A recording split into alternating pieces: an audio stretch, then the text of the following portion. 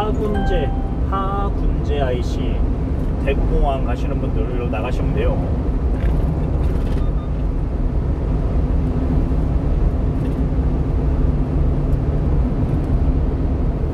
대구 외곽 순환도로 타고 지금 달리고 있어요.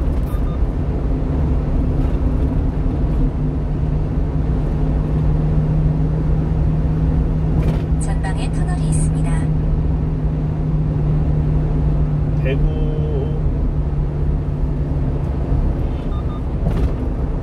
외곽 순환도로 연경 터널이네요. 연경 터널.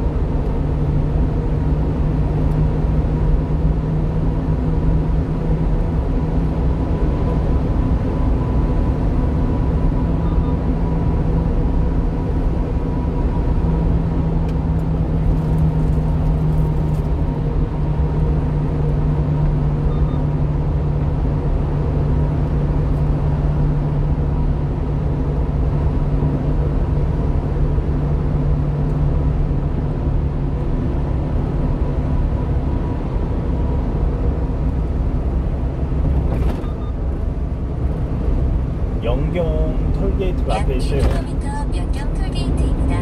요금은 19,800원입니다. 하이패스 차로는 1, 2차로입니다. 연경 톨게이트